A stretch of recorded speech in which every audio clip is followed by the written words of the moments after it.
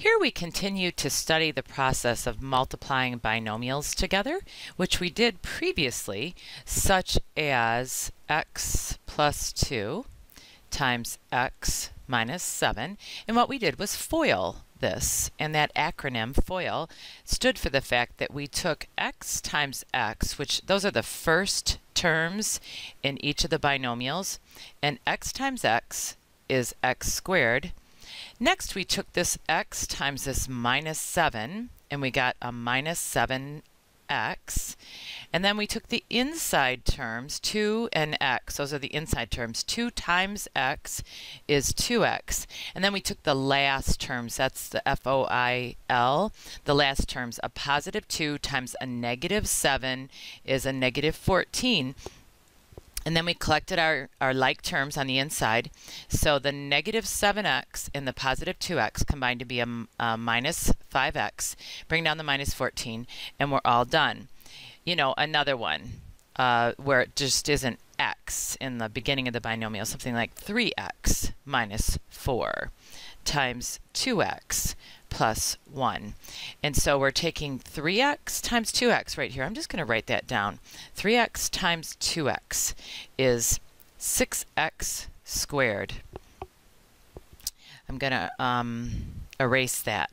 Next, we're going to take 3x times 1.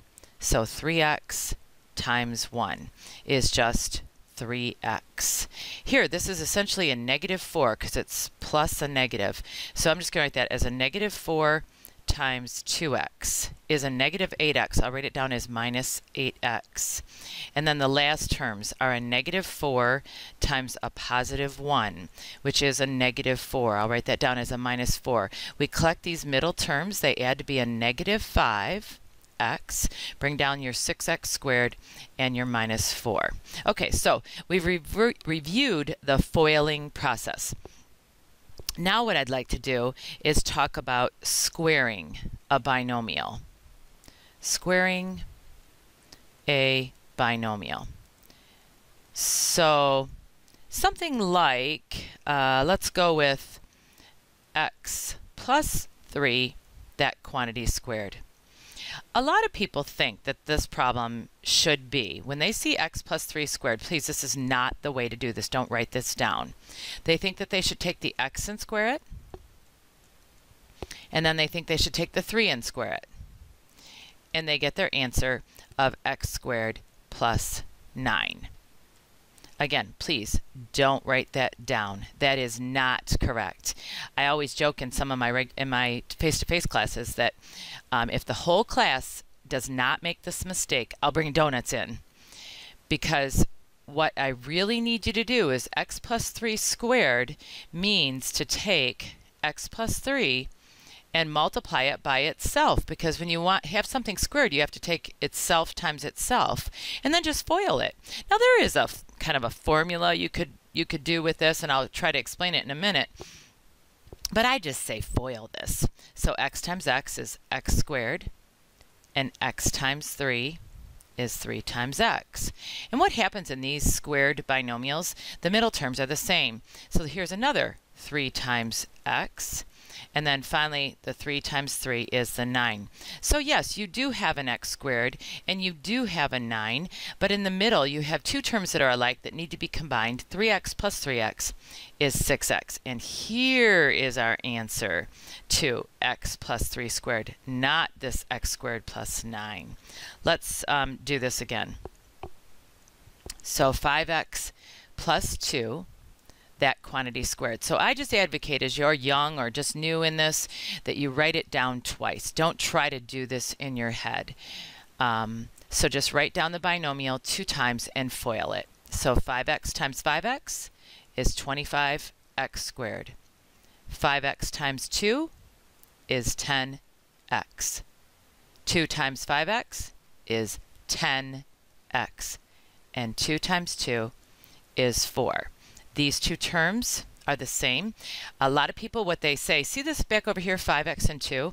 To find this middle term, they take 5x times 2 is 10x, and they double it to get the 20x, because there always is two of those in the middle. And then they do take the, let me show you here. They do take the 5x and square it to get the 25x squared. They do take the 2 and square it to get the 4. But they always, some people can do this in their head is what I'm getting at, instead of writing this out and foiling it and combining the like terms. I mean, I would normally do that in my head, for example.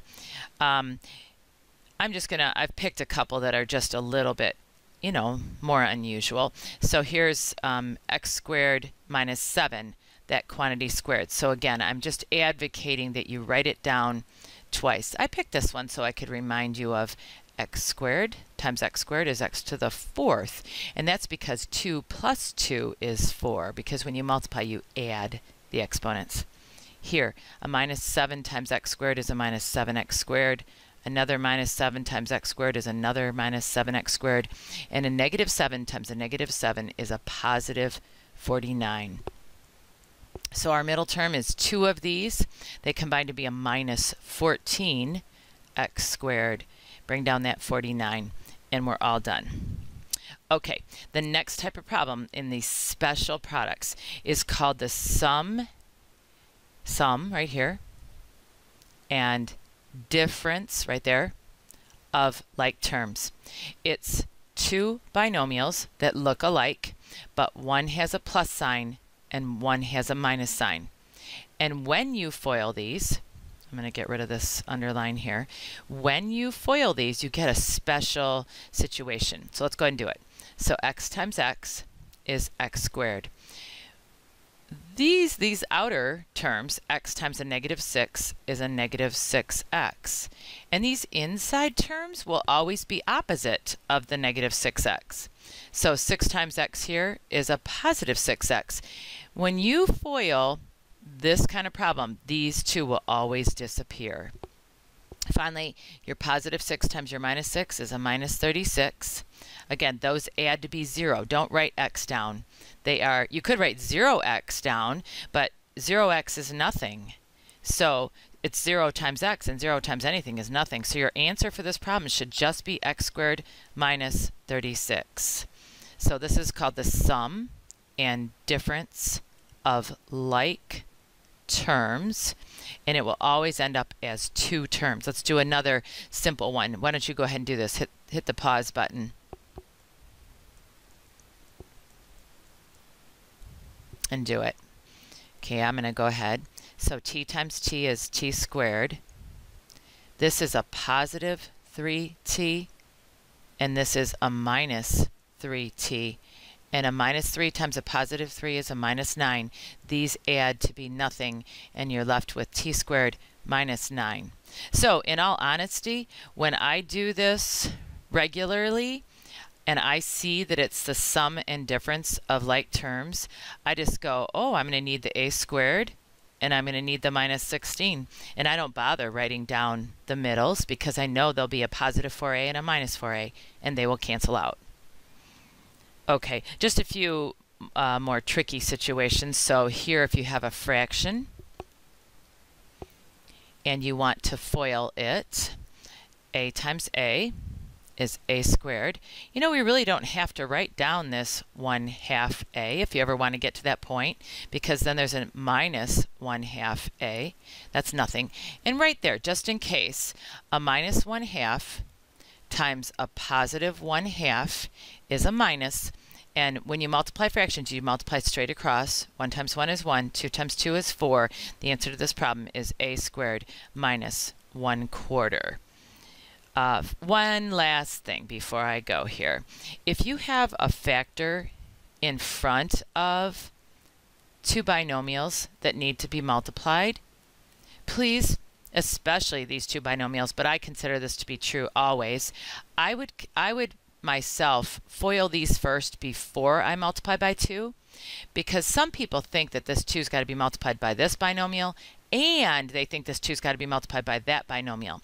If that were the case, then this would need to be a 4. You don't multiply the 2 by both of these. It's not the distributive property. Multiplication can be done in any order. So I'm going to choose to multiply the binomials first and finish that up. And then I know my middle terms will disappear. the 5x and the minus 5x. And now I'm going to multiply by the 2. So now I'll get 2x squared minus 50. Now watch, I could have done that same problem by taking the 2 times just the x plus 5, not the x minus 5. So I could have gone 2x plus 10. That would be it, right there. But then I'd have to multiply that by x minus 5. And 2x times x is 2x squared. 2x times a minus 5 is a minus 10x. 10 times x is a positive 10x, and 10 times a minus 5 is a minus 50. These terms add to be 0, and I'm left with 2x squared minus 50. So multiplication can be done in any order. You can multiply these two binomials first, and then multiply by the 2. Or I just multiplied by the 2 by this one binomial, not by both, and then finish the FOILing process. Hope I've cleared up a little bit of the special products when it comes to multiplying binomials.